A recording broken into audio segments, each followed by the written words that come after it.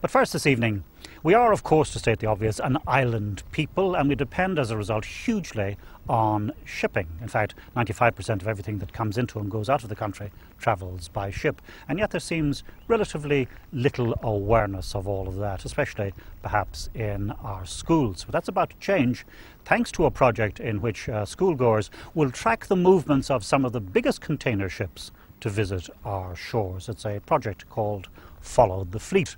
And our very own able seaman Tom McSweeney uh, brings us this portside view from the classroom.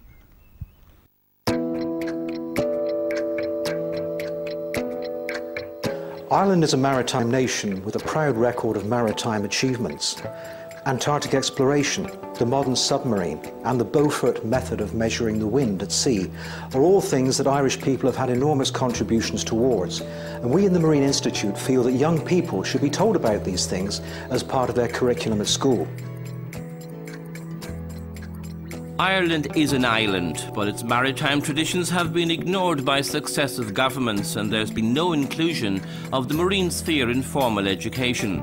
Quite surprising when, without ships, this island would be in serious difficulty. There'd be no oil to heat our homes or power our factories, no petrol for our cars, and a lot more of what's needed to live must come to this island country by sea. Coffee, tea, oranges, bananas, coal, the list is endless and that's a lesson in economics and geography which is now being taught to primary school children through the Follow the Fleet programme. These days, I would say the um, children in Ireland have a very little concept of shipping in general. I'm sure if you went to a school in the Midlands, they wouldn't have a clue like that the car their mum drives them to school in was actually imported from somewhere in a ship. The petrol that keeps that car going is imported into Ireland. It comes in in a ship. At St David's Boys National School in Artane in Dublin, a city school, the pupils of 8, 9 and 10 years have learned a lot from the Follow the Fleet programme. So first of all, it's showing us different kinds of cargo. So what did we say cargo means? It means deliver the um, stuff to different countries. Okay, very good. Now, if you check on your um, screen, what kind of cargo do they carry? They carry um, crates, Good. And what's what kind of things are the crates made of? um, wood. Good. Very good. What else might they carry, Killian? They carry uh, stuff like bread and stuff. Very good. They carry fillets. Good. Well, Follow the Fleet itself is really centred on our ability to track and trace our ships wherever they are in the world at any given time. For example, if we put the cursor over the vessels themselves, we can see their heading, their position, the prevailing weather conditions, the pressure, speed, and in addition to that, not only the information, not only where the position is, but we can also give a realization to the students and the teachers of what the ships looks like. The website itself has detailed pictures of the vessels, and here we have the, the Arklow Wave, the sister ship of the W-class vessels. And in addition to that, we have interaction with the ship's captains.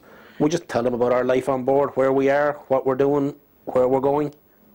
For the children, we make a point of making an interesting of what, where, how we're going to get there, what happens to the cargo after we carry it. I want you to go back up to um, Arklow Shipping. Click on Arklow Shipping. And at the end of the page, it says, find out where these ships are right now. Do you want to, will we find out where they are right now? Yeah. they're always moving, aren't they? Yeah. So just click on click here now. Arklow Shipping, the country's biggest shipping fleet, is cooperating with the Maritime Development Office and the schools in the project. And Captain Willie Mates reports back to the schools. He's been 25 years at sea with the Arklow Company. When I was a kid, there was, I think it was a Tuesday or a Saturday, one of the, again, days of the week in the national press, I think it was, I think it was the Irish press, there was a report from uh, Irish shipping, the ships, where they are, what they're doing, where they're going, who the crew are. So it could be said it's a modernised version of that. I would see that it's education in a real way as opposed to an abstract way. The kids can follow particular ships, they can see real people in those ships, they can see cargoes, they can plot the position where the ships are going. It's real life for them. It's not an abstract thing. And the downside of it is, or upside of it is, that they learn a lot about the countries where the ships go to, the seas, the currents, the weather, a whole range of things. The actual potential of the Follow the Fleet project is limitless. We've had an amazing response from schools so far.